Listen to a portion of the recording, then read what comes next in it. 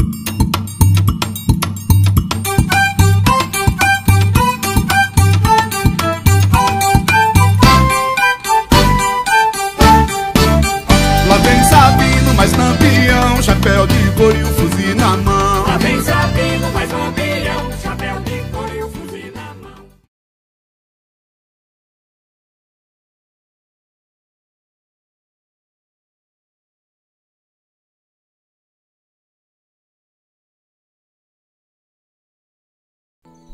Como bem sabemos, o cangaço foi um fenômeno social que alastrou-se pelos sertões nordestinos, causando muitas dores, brigas, mortes.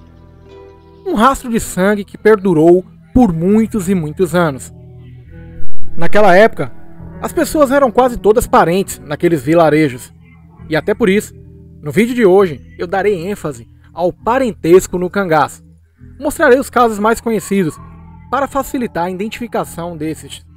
Deixo claro que inúmeras famílias naquela época pegaram em armas para defender tanto o lado das volantes como dos cangaceiros. E com certeza, nessa lista faltará alguns personagens, mas procurarei trazer aqueles mais conhecidos para vocês.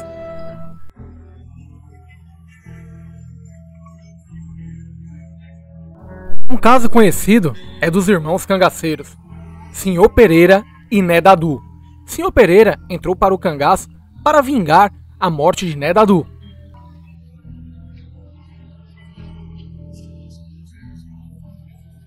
A família Ferreira, família mais conhecida na história do cangaço, teve vários integrantes envolvidos nesse fenômeno social.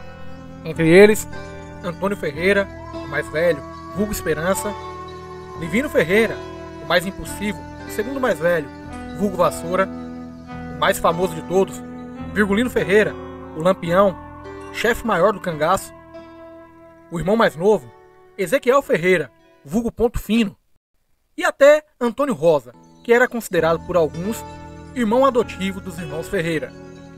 Além de tudo, tivemos presente na Grota do Angicos José Ferreira, sobrinho de Lampião, que iria participar do bando, mas não durou muito.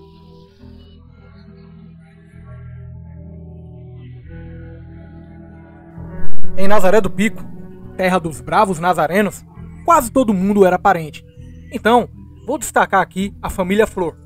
Vamos a eles: Euclides Flor, Manuel Flor, Odilon Flor e Delfonso Flor, que foi morto pelo bando de Lampião, Luiz Flor, Américo Flor e Hildebrando Flor. Todos esses irmãos pegaram em armas contra o cangaço. Apenas um dos irmãos não pegou em armas, que foi Valdemar. Além de tudo, Mané Neto, o Mané Fumaça, era primo deles. Podemos acrescentar também Luiz, filho de Odilon Flor, que ainda na adolescência pegou em armas para atuar ao lado do pai nas batalhas contra os cangaceiros.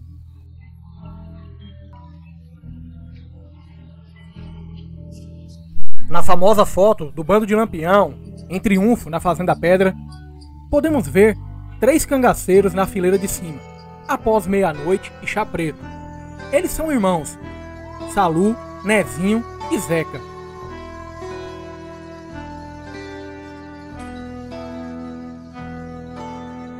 O afamado cangaceiro Tiburtino Inácio de Souza, vulgo Gavião, era filho do poderosíssimo major José Inácio de Souza, ou José Inácio do Barro.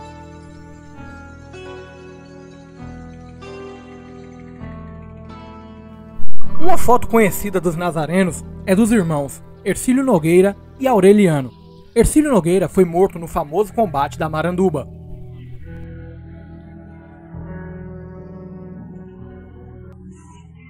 A família que deu muito cangaceiros foi a família dos Ingrácias. Era uma família muito grande e teve uma grande relevância na história do cangaço, tendo os principais, os tios Antônio, Luiz e Cirilo de Ingrácia como os principais, e os sobrinhos Zé Baiano, Zé Sereno, Antônio Dicionário, Mané Moreno e Sabiá, entre outros.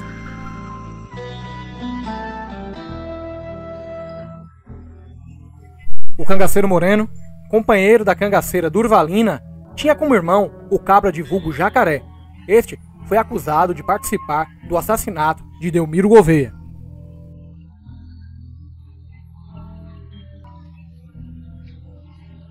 A linhagem de tribo Pancararés deu algumas pessoas para o cangaço. Entre o mais conhecido, ele, Santílio Barros, o gato, conhecido como o cangaceiro mais cruel da história do cangaço. Além dele, teve a sua companheira, a primeira, Antônia, que era conhecida como Antônia de Gato, Antônia Pereira, e seus primos, Mormaz e Mourão, que o próprio gato matou a mando de Lampião.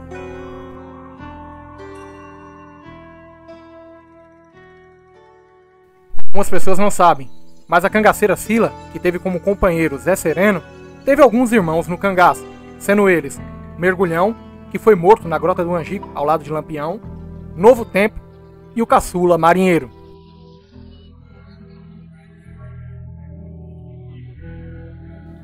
Outra foto conhecida dos nazarenos que pousaram juntos, os irmãos no caso, foram eles, Luiz e Raimundo Nogueira.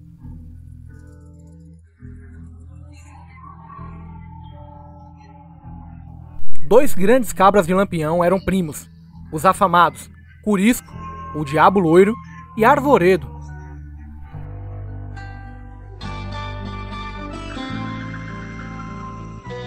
Dília, que foi companheira do cangaceiro Canário, tinha como irmão um cangaceiro de vulgo delicado, além de ter um primo chamado Penedinho. Curiosamente, Penedinho quem matou o seu companheiro Canário.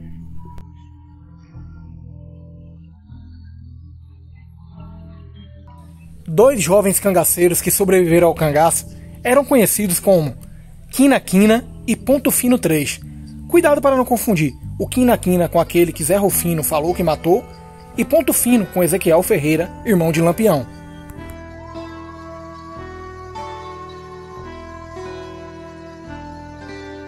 Maria de Déia, que foi companheira de Virgulino Ferreira da Silva, o Lampião, que depois ficou conhecida como Maria Bonita, era prima da cangaceira Mariquinha, que foi companheira de Ângelo Roque. Por sinal, elas foram as duas primeiras mulheres a entrarem para o cangaço.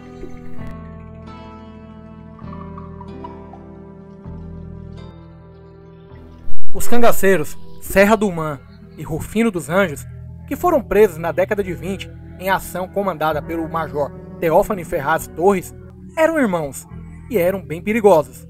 Atuaram no bando de Lampião por algum tempo.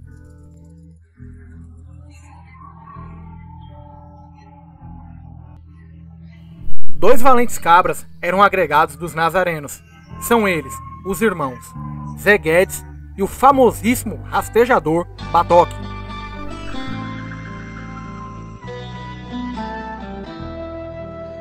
Também o caso das irmãs Rosinha e Adelaide.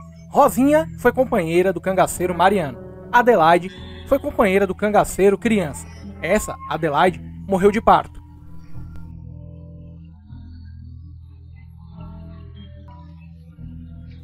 Mais um caso de jovens irmãs que entraram para o cangaço. São elas, Eleonora, companheira do cangaceiro Serra Branca, ambos morreram em combate, e também Aristea, que era companheira do cangaceiro Catingueira.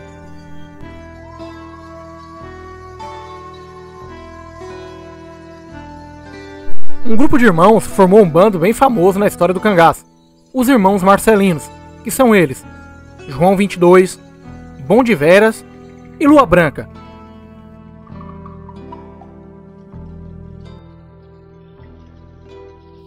Uma dupla de perigosos cangaceiros eram irmãos. Eram eles atividade e velocidade. Algumas pessoas colocam erroneamente 25 como irmão deles, mas isso não é verdade.